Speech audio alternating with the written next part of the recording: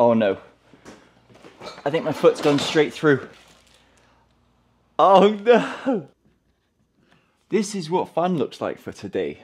Uh, I'm gonna have my feet in lotion for 24 hours. Let's make this TikTok happen. You know what my current problem is? So the intro for this whole video, like the kind of reason for doing it, is that women in 2024 want a guy under six foot with super soft feet. Now, why do I want that? Because it kind of, it's triggering enough that people would be like, whoa, hold on a minute. Because apparently women don't want a guy under six foot. And the super soft feet, where does that come from? But I want to be able to somewhat back that up. Two back. So somewhere in here, I need my wife to make a comment about how gross my feet are. And I think the best time for that is as I'm putting this on. No, I've got it. It can be a completely different clip of me filming myself doing something else, but having my feet out, and then my wife says that over the top. Easy. Then it makes it seem like it's part of something else that's instigated this whole video. So we're gonna start with just putting lotion on my feet in a bag. Yeah. Do I need to explain? Healthy Feet is with O'Keeffe's this is part of a partnership that we have set up. I've done two, or doing two videos with them. Now, interestingly, I've already done one of the videos, but it didn't work out very well. It didn't perform very well. But that's okay, because I did two other videos I just flipping did this. I did two other videos with their product, and those have done really well. So together, we're over a million views, so they can't be unhappy. I have a pretty, I think I have a fairly unique view on, oh, hydration test. I need back whereby I think any partnership should be more of a partnership. Hello, Ruger. Are you in trouble? Hydration test. 35.5. It's a good start. Oh, it's a little bit cold. It's so thick. I think I'll give it a moment to warm up and then it will smooth around. Yeah, I have lots of friends who are creators. Product positioning. And when I've seen them do a post that flops, I don't ever see them doing a, what I would call like a makeup post. So we're essentially just providing a service and it's like, let's say you create a wedding video for a company. You do your best on the day, let's, whatever. But when it comes time to showing that video, it's actually just crap. No one enjoys it. It doesn't evoke the emotion of that special day. Do you really just turn around and say like, well, you got what you paid for, that's it. Or do you you adapt, you make it better, you give them exactly what they paid for. This feels nice. Moonwalk. I have a feeling these are going to be hot as hell to sleep in. But man, I look good. Now, I'm not saying that makes me a better person. Although I, I think I do kind of think that makes me a better person. More integrity, maybe. But I feel very strongly about that. And I think the challenge in that honestly, I think the challenge overall that I found is being able to communicate that to someone who's willing to pay me to do something. Too many words, I found. Too much thinking, too many words have actually spoilt deals for me. Trying to explain everything that I can do has made me seem desperate. That's something I've really had to try and figure out. I thought I'd turn this on right now because while I'm trying to pack my bag, I'm just slipping all over the place. Oh, what's that? I need something from over there.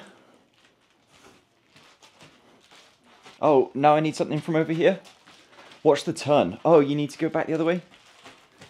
We've got some Amazon returns to do. Let's go and do those and see how this situation works out. Do I need socks? Not yet.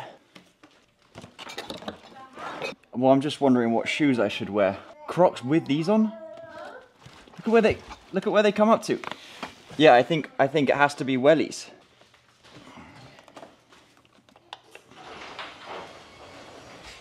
Brush my feet off first. Oh gosh, yes. Oh no. I think my foot's gone straight through. Oh no! I'm gonna have to double bag it with socks. So I've planned out the whole TikTok video, right? But sometimes there are things you just can't predict. Like in a good story, you want the main character to do something, and once they get started on their journey of trying to accomplish something, you have something that sets them back. Something that lets them know this isn't going to be easy. And that's where we are now. I, am sure my, I knew my feet would have come through this at some point. I wouldn't know when, but it's pretty good that it happens at the beginning of the video because that makes for a great storyline. All right, I'll see you soon, Riggy. We'll bounce when I get back, okay? Good boy, I'll see you soon. Hi, Goobies. Bye, Duda. Take two with the wellies. It's a lot of pressure. You were right. I gotta go Crocs. They're too big. Now, I know part of you may be thinking, Oliver, going to do some Amazon returns. That's not a very interesting thing to do for a video. No, but it's actually quite relatable. Oliver, what do you mean by relatable? That sounds silly. Because I have Amazon returns to do, and it also states that I'm not in a position, what am I trying to say? Financially, I'm not in a position where Amazon returns don't make sense. And that's where the average person is. So even when making up stupid storylines, you've got to have some, in my opinion, you've got to have some relatable bits in there. Bloody hell, it's hot. Every step feels like I'm slipping. Walking today was not my best idea. But I did, oh shit. I've been waved across the road and my feet are slipping. I'm running. Well, I was trying to run. My foot has bust all the way through. I can feel four toes are coming out of this one. I wish you could feel what this feels like. It's horrible. it's so bad. And my, yeah, it's cutting into my toe now. I really detest being behind someone in queue and they're not ready to do the thing. So I gotta make sure I have my code up to return. Hello. How you doing? Hi. Yes, that's it. Thank you very much. Beautiful. Thanks, man. Have a good one. This is real life, what it looks like to be walking in these. Backwards is quite good, actually. Bear in mind, it's cutting into me. Like, I need to rearrange it when you get in the car sliding all over the bloody place. Does it go? All right, one more drop off to do. Do not like the idea of someone rushing me across the road. I'd rather just wait. I'd wait 20 minutes for everyone to go past so that I can do it in my own time. We're through both bags? Ugh. Feels so horrible. Why is this one so messed up? Flip them around and hope for the best. All right, while we go to this UPS store, I'm gonna tell you about a problem that I have that I struggle with every single day. Boo-hoo, Oliver. We're going, we're going. Oof, we made it. So I have a real inability to understand how long a task is gonna take me, which means I end up taking on far too much than I can get done in that day. And the result of that is finishing the day feeling unaccomplished. When actually, I've done a whole, I've done so much. Can you get me in? Nice. Hi, how you doing? Hello. Lovely, thank you very much. You guys have a good one. I'm trying to walk out of here looking good. Oh dear.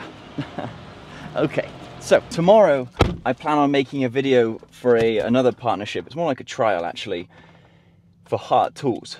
Now it's going to be making a candy dispenser out of PVC pipe. Now in my head I'm like, okay, go and get the bits you need for that today. You can just start working on, you can just do it alongside this video. That's where my problem is. So I'm not gonna start that today. That can be tomorrow. And now we're gonna go fly an FPV drone because I just, I want to, I want to. I fixed it and I want to.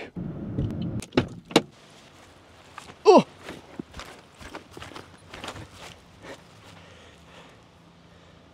Sideways croc. I'm not trying to be dramatic. It's just my foot is sliding with every step. Oh, yeah, oh, here we go.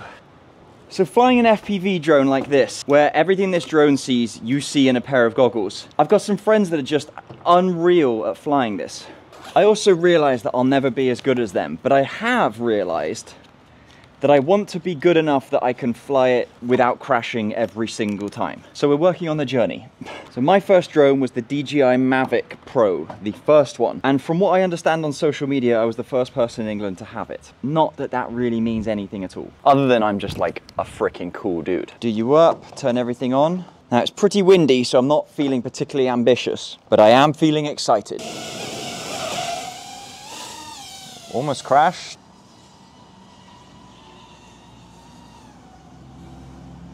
Don't trust myself. I am going far too fast for my own ability. But I think I did pretty well out of that. I remember taking a lunch break from work. This was when I had to leave the country and I had to go and live back home for about six months, uh, four or five months. And there was the release, and I was, right before that, I was, well, I was daily vlogging at the time, and I really wanted a drone. And of course, I was looking at the Phantom 3 at the time, But I kept holding off because I was like, this is way too big. It doesn't suit, like, this is not going to fit into my life, which was cycling to work every day and that kind of run and gun style. So when I heard about this foldable drone that was coming out, I took my lunch break to Starbucks and I went and watched the release. Ordered it as soon as the release started. Oh my gosh, we almost went. Oh no. Had like full concentration going into that. I think there's a pretty good storyline behind flying FPV, which is if you don't feel good going into something, you should stop, collect yourself, and try again. Because in FPV, if you go in wrong, oh, we're on low battery. If you go in not confident with what you're about to do, you're more than likely going to crash. And when you're doing this, any crash normally ends with destroying it. Oh, okay. That's that. Should set up an obstacle course, shouldn't I? That whole time I forgot about my feet. But let's go back because I want to play with the little man on the bouncy house for a bit. And the little man is not my wife. the wife and kids are out.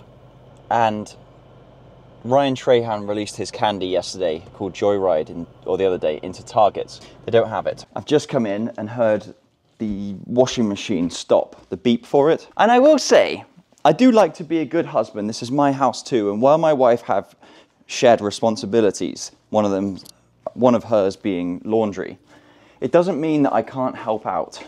Oh, I completely forgot.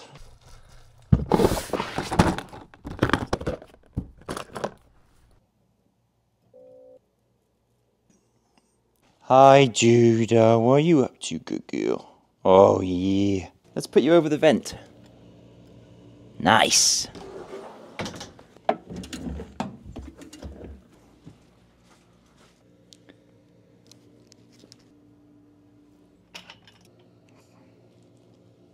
Plastic zippers from the bag are cutting into my heels.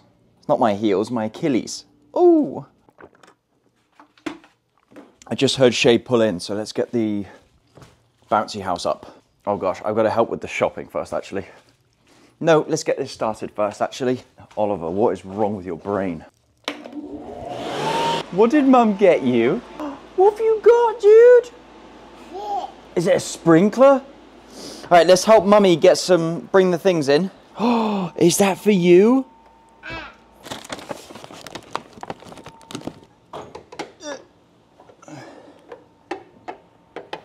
All right, we're gonna switch out the bouncy house for the sprinkler. Okay, the clips on these bags are really cutting into me. I might have to take them off. That's also a good part for the TikTok. Like some things that go wrong that are unexpected. I just feel like my feet are so hot and sweaty. This one's fine. Let me tell you something.